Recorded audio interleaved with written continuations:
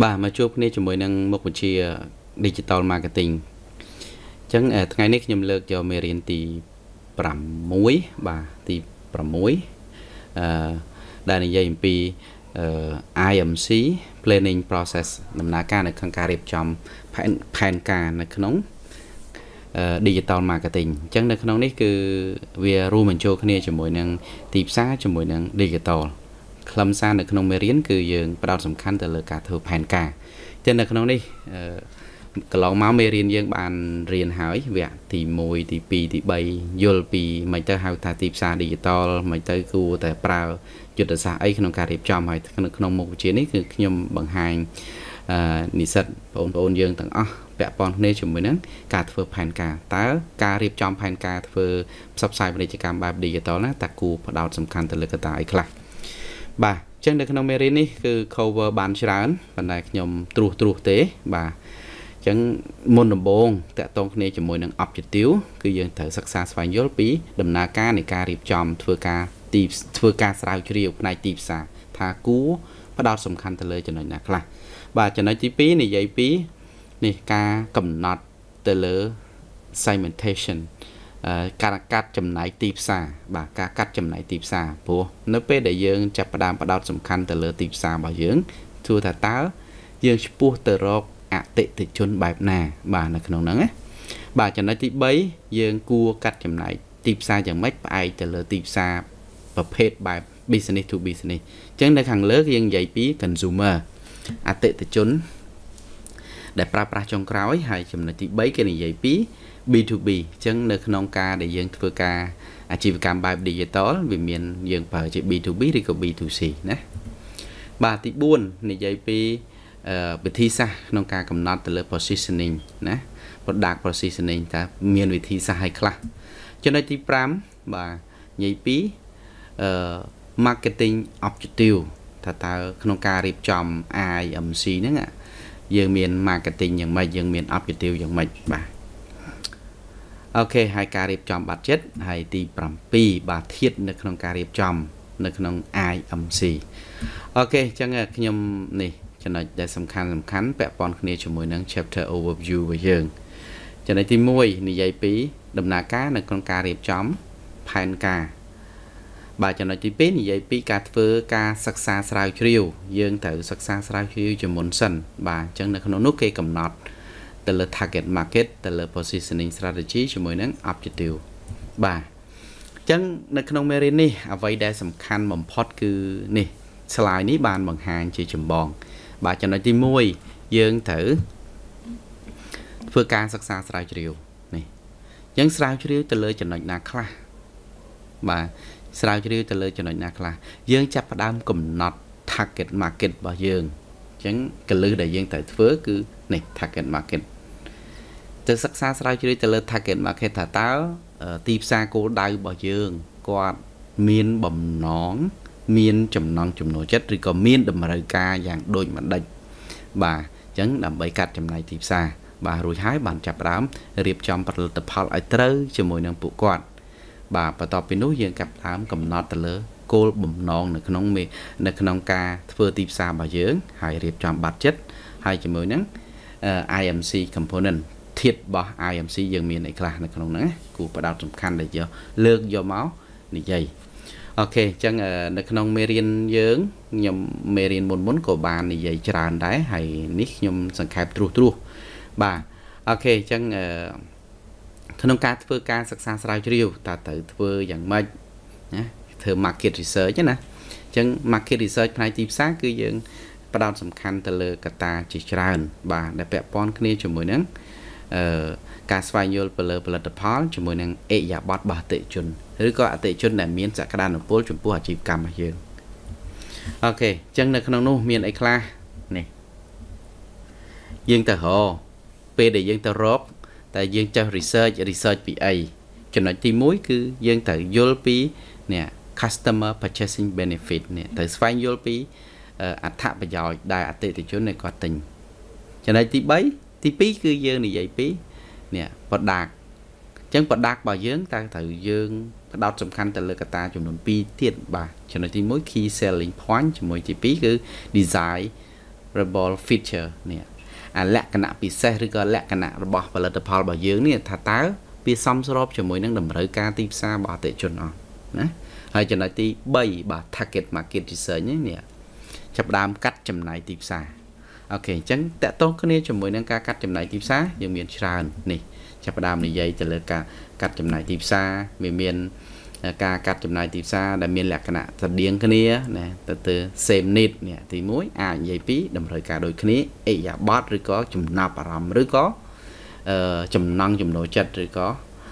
អឺលក្ខណៈរបស់បុគ្គលជាដើមអញ្ចឹងហើយខ្ញុំមិននិយាយច្រើនទេតកតងជាមួយនឹងកាត់ចំណាយទីផ្សារព្រោះយើងបានរៀនកន្លងមកច្រើនហើយតកតងជាមួយនឹងអិយាបតបាទតិជនក្នុងការកាត់ចំណាយទីផ្សារបាទនេះមកនេះវិធីសាស្ត្រនៅក្នុងការកាត់ចំណាយទីផ្សាររបស់អតិជន បាទមានកាត់ចំណាយទីផ្សារចាតាមនេះអឺបជាសាស្ត្រតាមចិត្តសាស្ត្រតាមចំនួនបាទតាមតំបន់បាទ និងតាមអត្ថប្រយោជន៍អីជាដើមអូខេអញ្ចឹងអឺខ្ញុំសង្ខេបប៉ុណ្ណេះ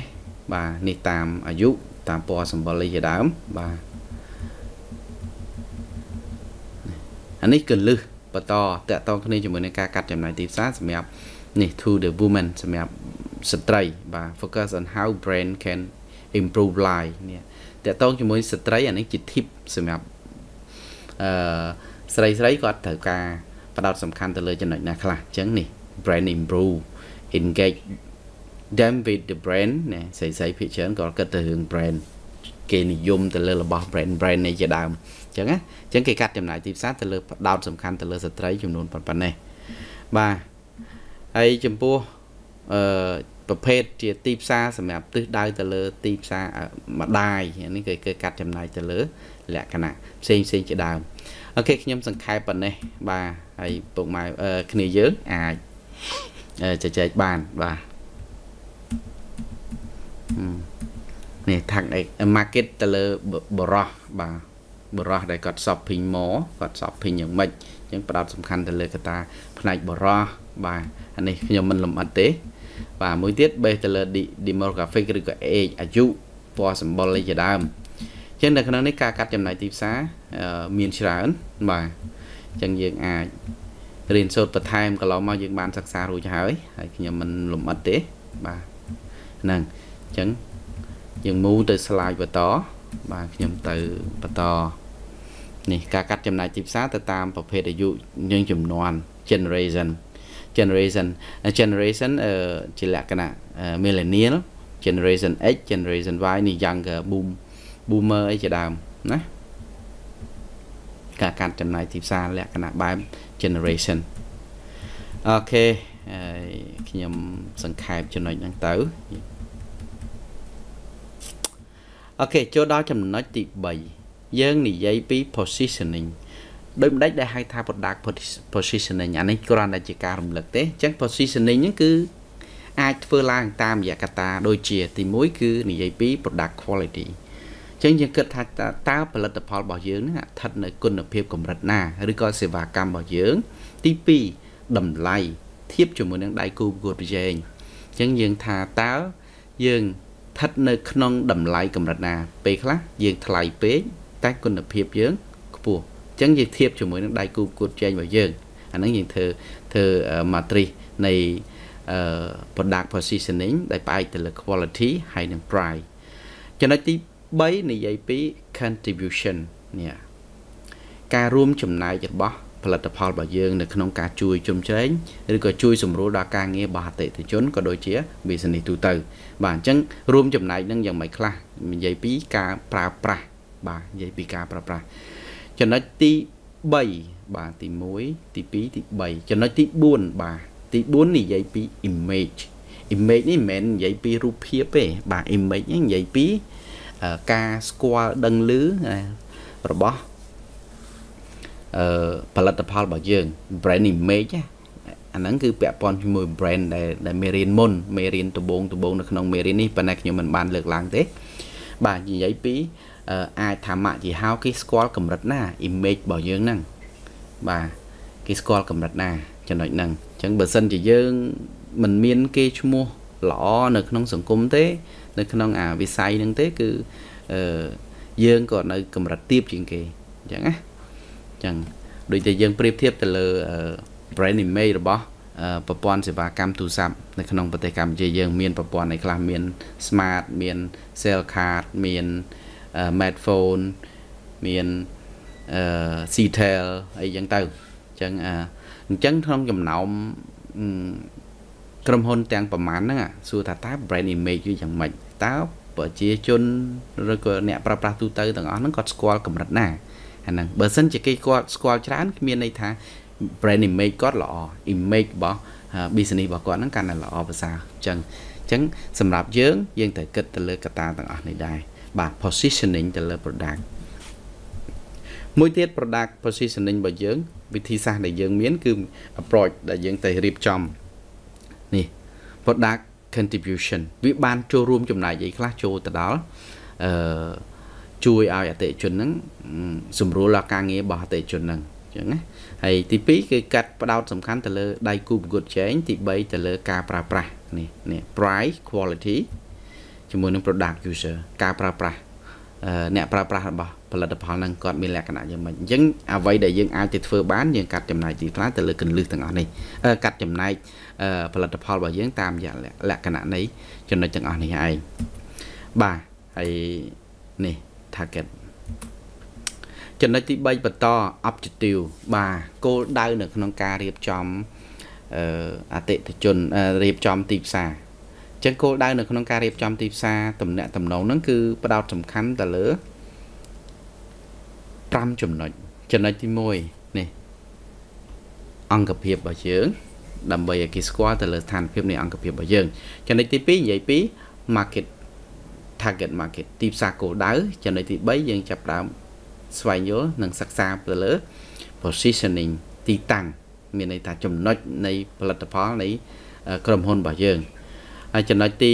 4គឺនិយាយពី component ហ្នឹងមានអីខ្លះហើយនឹង budget បាទសំខាន់ជាងគេគឺរឿង budget ហ្នឹងឯងអូខេអញ្ចឹងរាល់ការរៀបចំទៅលើ objective គឺយើងផ្ដោតសំខាន់ទៅលើនេះណា promotion mix អញ្ចឹង promotion mix ហ្នឹងយើងមានប្រមាណចំណុចនៅក្នុងនេះមាន5ចំណុចណាយើងអាច advertising យើងអាច direct direct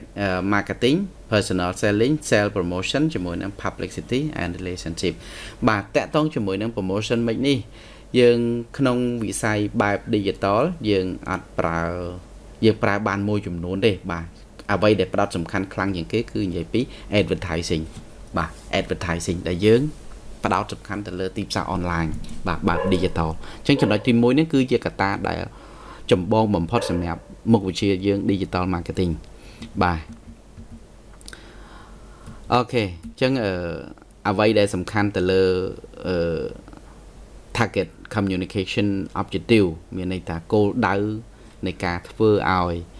ទីផ្សារដែលយើងដំណើរការនៅក្នុងអាជីវកម្មរបស់យើង គឺទី1និយាយពី inform នេះ basic component ទៅលើ promotion មានន័យថារាល់ការផ្សព្វផ្សាយរាល់ការប្រឹងប្រែងធ្វើរាល់ការធ្វើ digital marketing គឺយើងផ្ដោតសំខាន់ទៅលើកត្តាចំនួន 3 4បាទ3ចំណុចទី1គឺនិយាយពី inform បាទយើងផ្ដល់ព័ត៌មានយើងព្យាយាមប្រម៉ូទយើងព្យាយាមផ្សព្វផ្សាយហ្នឹងគឺតាមរយៈគ្រប់មធ្យោបាយបិណ្ឌជាទូទៅគឺយើងផ្ដោតសំខាន់ទៅលើ digital ហ្នឹងឯងអញ្ចឹង digital ហ្នឹងគឺចំណុចទី1គឺ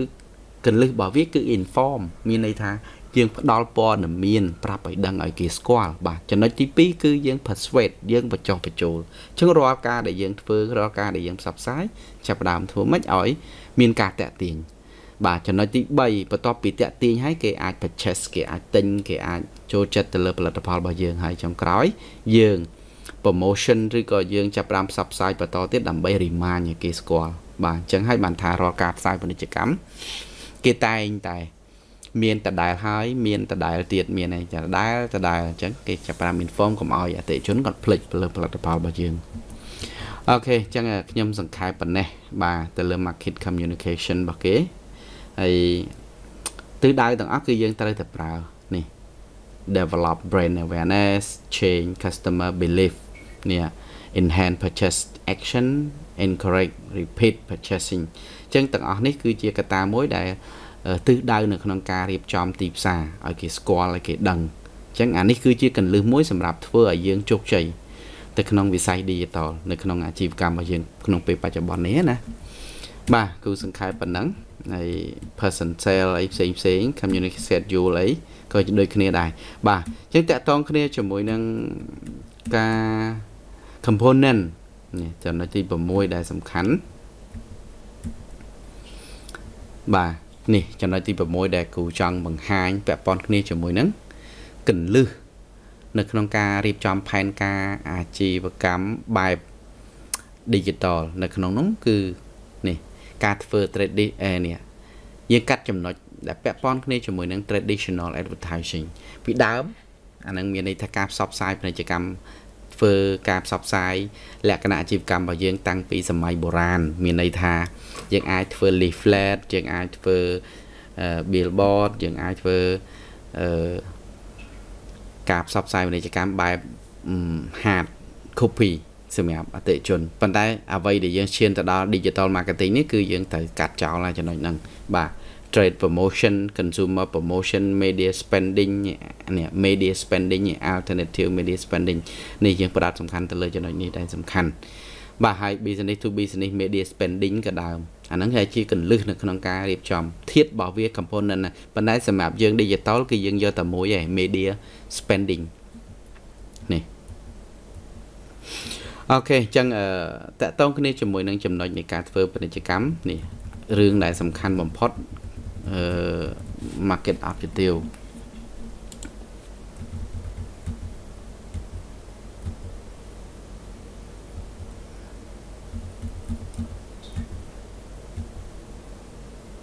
នេះ